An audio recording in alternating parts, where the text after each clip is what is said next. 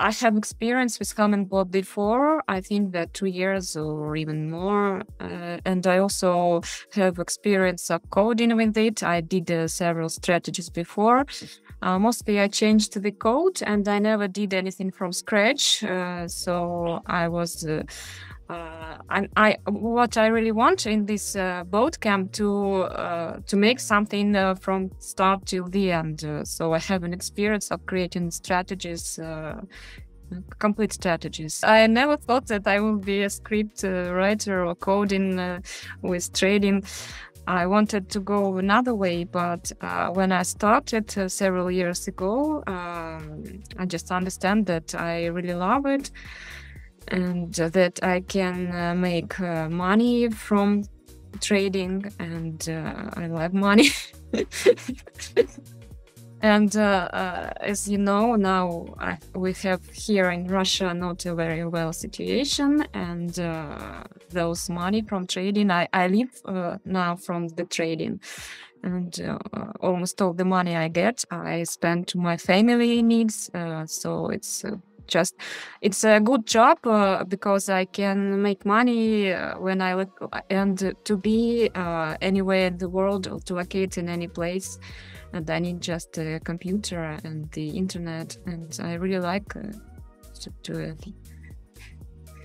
And I also like coding, and it's my um, it was a hobby before, but here I understand that I can make money and to be more professional developer I thought that uh, scripting Hummingbot is something that's simple uh, and uh, that you can't do a complex logic or complex strategies. But when I uh, finished the boot camp, I understand that it's more um, complicated uh, too, and I can create even uh, complex strategies. In general, I see that the most difficult part for me was not the functions on variables or something like that, but how to how to design the logic of the strategy. I learned how to create uh, those strategy designs because earlier, uh, usually I just uh, start coding right away without without uh, without understanding what I what I need.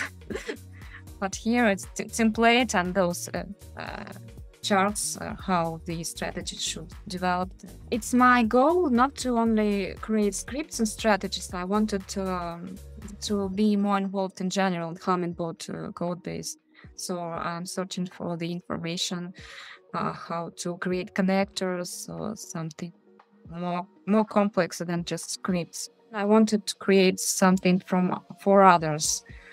Uh, to be developer, not to, to develop not only my own ideas, but to to work uh, with others, uh, to develop uh, uh, strategies for other users Mm, probably even uh, to add some more to Hummingbot code base. Uh, I really, I really like how the code is uh, organized in Hummingbot. I never thought that uh, I will learn so much in these months.